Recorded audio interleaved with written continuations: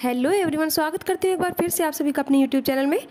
आज मैं आप सभी के लिए लाई हूँ जन्माष्टमी स्पेशल मेवा पाक की रेसिपी। देखिए मैं जन्माष्टमी पर यह मेवा पाक बनाई थी तो आज मैं आप सभी के साथ शेयर करूँगी अपनी ये रेसिपी। ना ही इसमें मावा डलता है, ना ही मिल्क पाउडर, सिर्फ़ मेवा के साथ ही बनाई जाती है।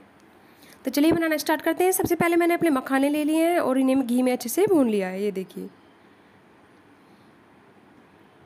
और ये मैंने सारे मेवा ले लिए हैं, बादाम, काजू, खरबूजे की गिरी, गोंद और चिरौंजी, जो भी आपके पास मेवा हैं, वो सारे मेवा ले लीजिए। और घी में देखिए, ये भी मैंने अच्छे से भून लिए हैं गोल्डन होने तक।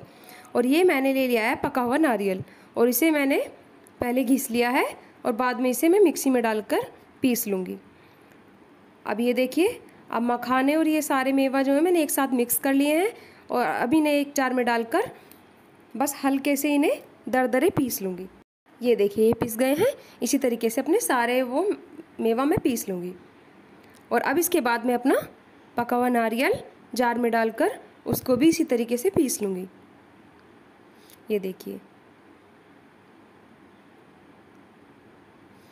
ये देखिए, ये हमारा नारियल भी पीस गया है अच्छे से। अब ये सारे मेवा मैंने एक साथ मिक्स कर लिए हैं। देखिए, कुछ लोग साबत का भी बनाते हैं। बट हम पीस कर ही बनाते हैं। अब हम एक कढ़ाई में एक कटोरी चीनी डाल लेंगे और उसमें आधा ग्लास पानी डाल लिया और अब इसकी चाशनी तैयार कर लेंगे। देखिए, जब तक चाशनी तैयार हो रही है, तब तक एक थाली में पीस जमाने के लिए मैंने घी लगा कर रख दिया है। और अब ये देखिए, ये अच्छे से पकने लगी है। तो हम ये चेक कर लेंगे कि इसमें जब एक तार की चाशनी तैयार हो जाएगी, तब इसमें हमें ठंडा होने के बाद अपना सामान डालना है। तो इस तरीके से बीच बीच में चेक करते रहेंगे। चलिए अब हमारी चाशनी तैयार हो गई है, मैं अभी आपको दिखा देती हूँ कि कैसी चाशनी आपको तैयार करनी है। ये देखिए, ये इस तरीके से जब इसमें तार बनने लगेगा तो समझिए चाशनी तैयार है। ये देखिए, ये तार बन गया है, अब इसमें हम अपना सामान डाल देंगे, डालकर अच्छे से मिक्स कर देंगे।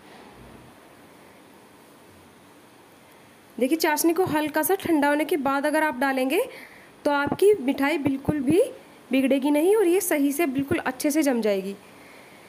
और सामान डालने के बाद, अच्छे से मिक्स करने के बाद भी इसको थोड़ी देर कढ़ाई में हल्का सा ठंडा कर लीजिए। उसके बाद ही ले तो पीस बहुत अच्छे जमेंगे आपके। अब ये देखिए, ये टाइट होने लगी है। इसमें इसी तरीके से अच्छे से ठंडी करके तब हम इसको अपनी थाली में डाल देंगे। देखिए, ठंडी हो गई है तो अब मैं इसे एक थाली में निकाल लूँगी इस तरीके से। अब मैं सारा पेस्ट थाली में डालने के बाद इसको चम्मच की हेल्प से अच्छे से फैला दूँगी। अब ये देखिए, मैंने सारा डाल लिया है चम्मच की हेल्प से इसे अच्छे से फैला देंगे। देखिए, इसमें घी बहुत अच्छे अच्छा हो जाता है, क्योंकि सारे मेवा हमारे घी में ही भुनते हैं, और मेवा में खुद भी अपनी एक चिकनाई होती है। तो उसके बाद एक कटोरी की हेल्प से आप इसको प्लेन कर दीजिए इस तरीके से। ये देखिए। और उसके बाद अपनी मनपसंद अनुसार आप पीस काट लीजिए।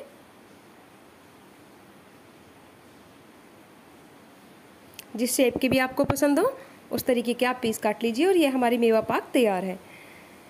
तो आप नवरात्र के व्रत में, जन्माष्टमी के व्रत में या किसी भी व्रत में आप इसको बहुत ही आसानी से घर पर बना सकते हैं और ये खाने में बहुत टेस्टी लगती है और ये हेल्दी भी होती है। ये देखिए बहुत अच्छी बनी है हमारी मिठाई।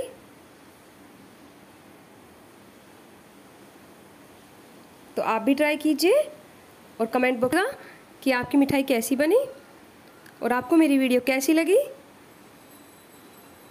अगर आपने चैनल को सब्सक्राइब नहीं किया है तो चैनल को सब्सक्राइब कीजिए वीडियो को लाइक कीजिए और शेयर कीजिए। Thank you so much